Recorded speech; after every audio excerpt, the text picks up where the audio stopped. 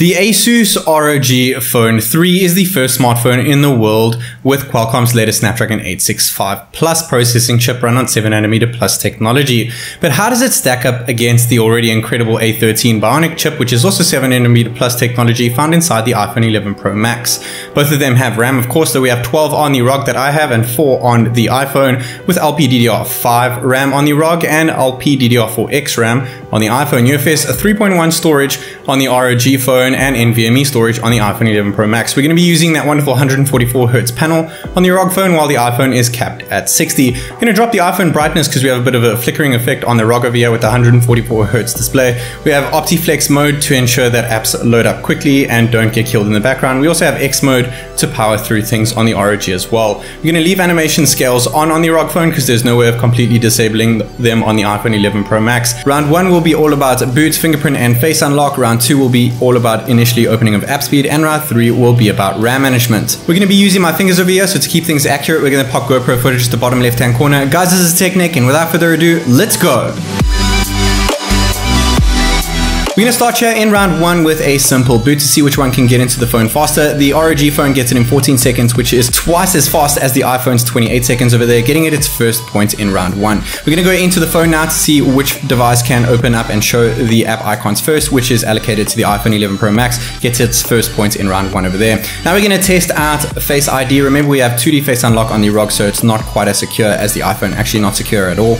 But the ROG phone was a little bit quicker there. It was a tie the second time round. It was a little bit quicker again. So two wins for the ROG and one draw for the ROG as opposed to two losses for the iPhone over there. Now we're going to test out the secure 3D face unlock on the iPhone as opposed to the secure optical fingerprint sensor underneath the display of the ROG Phone 3. The ROG Phone 3 was just one time quick over here with two draws and a loss for the iPhone. So getting it its third and final point in round one as opposed to one point for the iPhone 11 Pro Max. Going into round two, I'm making sure that all apps are indeed closed in the background. Going into the first app, which is the camera app, the iPhone 11 Pro Max. Open that one up quicker. Uh, flipping to the selfie cam though, the ROG Phone 3 grabs that.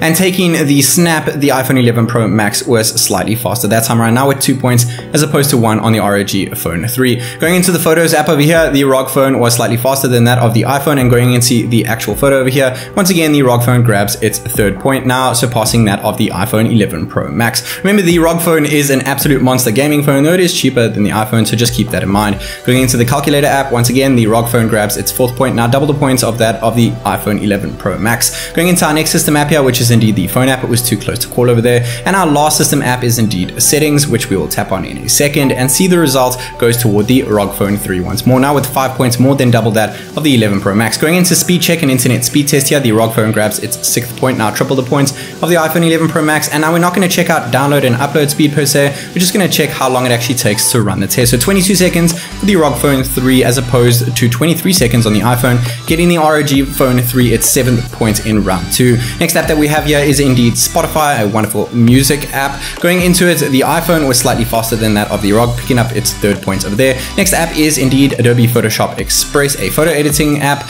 And going into the app itself, the iPhone was faster. Going into the picture, however, the ROG Phone 3 was quicker. So now once again, double the points with 8 as opposed to 4.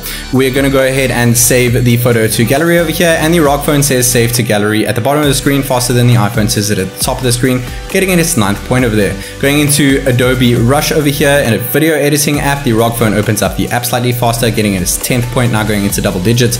Opening up the project was too close to call. Now we're going to go ahead and export this 4K 25 frames per second clip. We're going to compress it down to 1080p, matching the frame rate of 25 frames per second and hit export. Remember we have NVMe storage on the iPhone, which is pretty much the fastest storage available in a smartphone right now. And as you can see, you can see it 6 seconds for NVMe on the iPhone 11 Pro Max as opposed to 17 seconds on the ROG phone's latest UFS 3.1 storage that is no longer 3.0. Going into Astrill VPN, since we need a VPN here in China, the iPhone 11 Pro Max opens it up quicker and the ROG phone actually turns it on quicker. There was still a loading animation when turning on on the iPhone. Going into our first social media app, this is one of the reasons that we need a VPN over here. The iPhone opens up Facebook slightly faster, getting it seventh point, now just four points behind the ROG phone. Going into Instagram, once again, opens that one up slightly quicker. So now eight points as opposed to 11 on the ROG, just three points behind there. Going into Twitter, the ROG Phone 3 opened it up slightly quicker because of the animation on the iPhone. And going into YouTube over here, let's see which one will take it.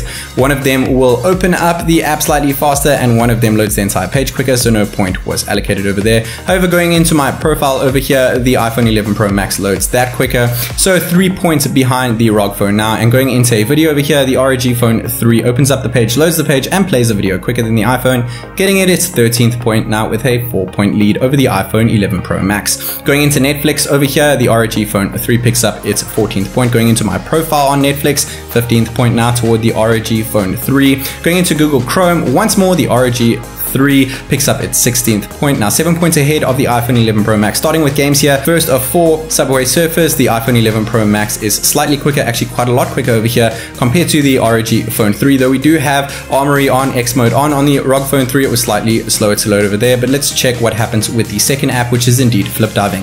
Opening up Flip Diving over here, let's see which one can grab its next point over here. We finally have double digits on the iPhone, but the ROG Phone 3 picks up its 17th point, almost nearing that 20 point mark after opening opening up flip diving slightly faster than that of the 11 Pro Max. Going into our second last game here, second last app of the row, the ROG Phone 3 pulls Temple Run in the bag with 18 points as opposed to 10 on the iPhone 11 Pro Max. Last game here, last of the 20 apps that we'll be opening here is indeed PUBG Mobile, longest loading app and we, when we go into it, we're going to speed things up bottom right hand corner over there and let's see which one can load the entire app faster. 13 seconds on the 11 Pro Max as opposed to 15 on the ROG phone, so the iPhone picks up its 11th and final points in round 2 as opposed to 18 points on the ROG Phone 3. So the ROG Phone had a 7 point lead in round 2. Now we're testing out RAM management. Remember, we have 4 gigs of RAM, so we have triple that on the ROG Phone with 12. We have LPDDR5 RAM, which is more important in my respect compared to the actual amount of RAM that you have. And so far, the ROG has just opened two apps where the iPhone have killed those,